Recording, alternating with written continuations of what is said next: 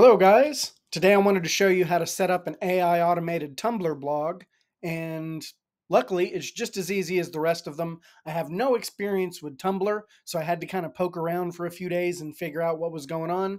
Let's take a dive in. Log into your Make account. If you don't already have an account, thank you for using my link down below. And once we get signed in, I'm going to go over to my Autoblogger scenarios, select the scenario that I want, which is the Tumblr scenario Boom. AI Autoblogger templates. And there is Tumblr. And as you can see, it's every bit as simple as the Shopify blog.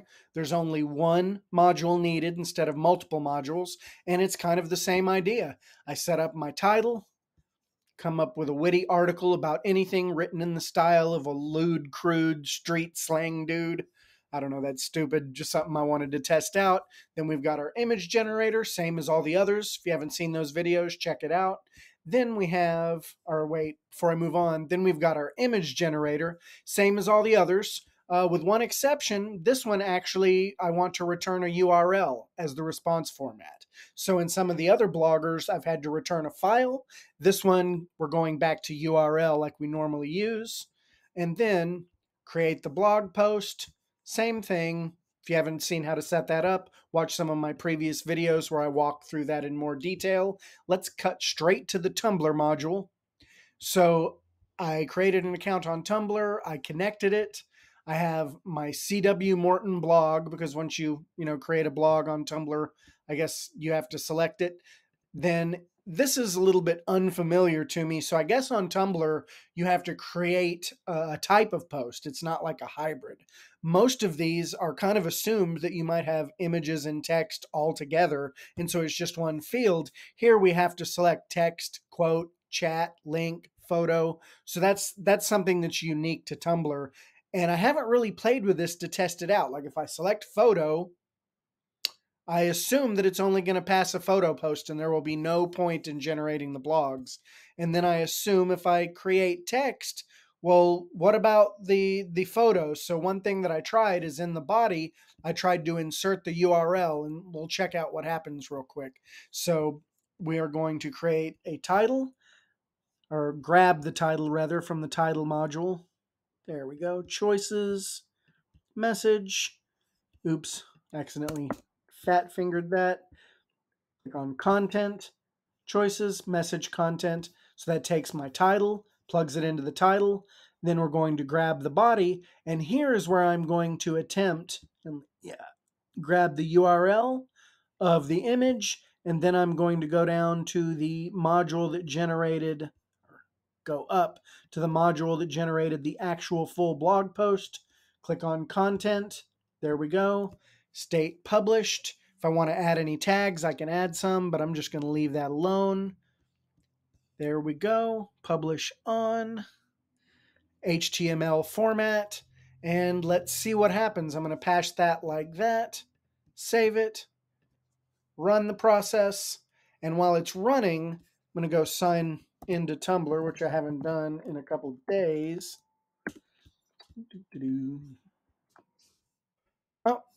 Am I still signed in? No, I can't tell. Nope. Log in.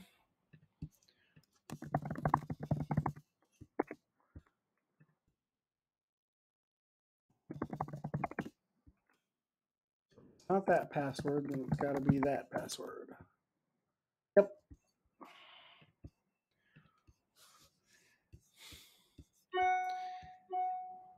All right, let's see.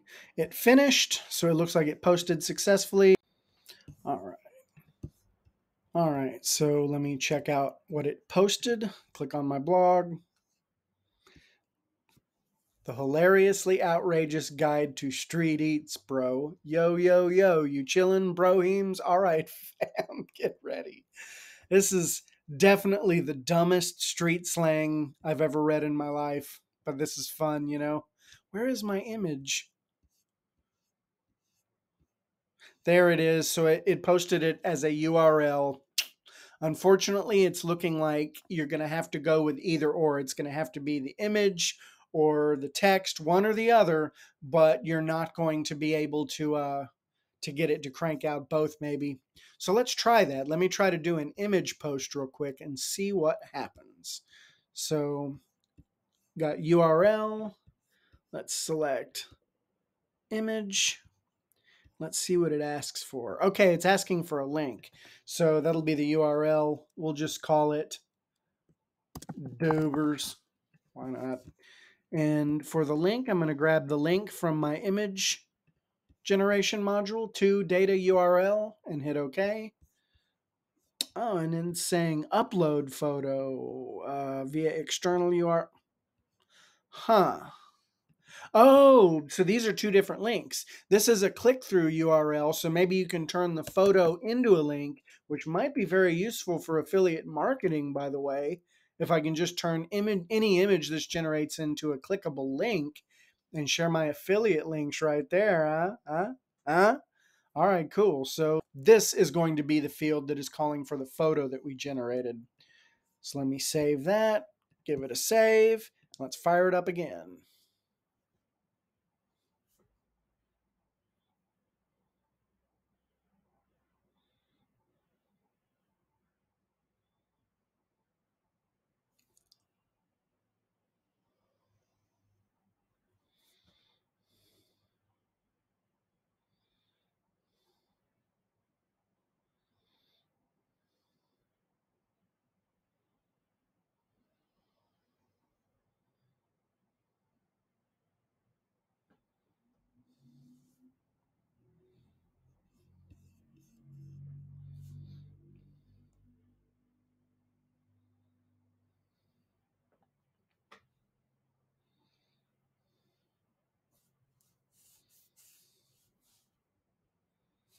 All right, it posted.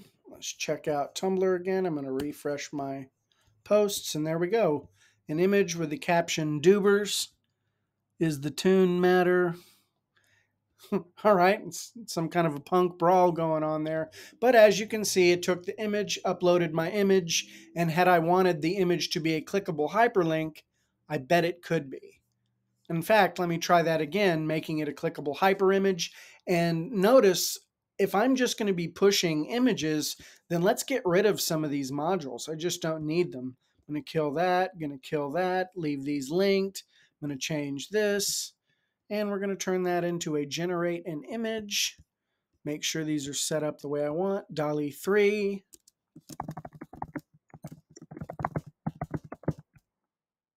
Cute kitten photo realistic. Now, let's make sure the rest is right. Show advanced settings. I'm going to do standard 1024, 1024, vivid URL. Check, we are good. In Tumblr, I need to change this. Since I changed my modules around, it's now grabbing something else. So I'm going to go to data, URL. There we go anytime you delete or change your modules, sometimes you're going to need to go in here and change those around because if you can look on the corner of the module are these little numbers, that's what it's actually uh, connected to, not the actual module itself, but the, the place where it is. So sometimes you're going to need to go in and modify those if you delete anything. So there we go. Let's run this puppy. That'll make it go a little bit faster since it only has to generate an image for us now. There's the cute faced little kitten. Thank you very much for tuning in today. I hope this has been helpful. Don't forget to like, subscribe, and notify. And see you next time, everybody. Onward and upward.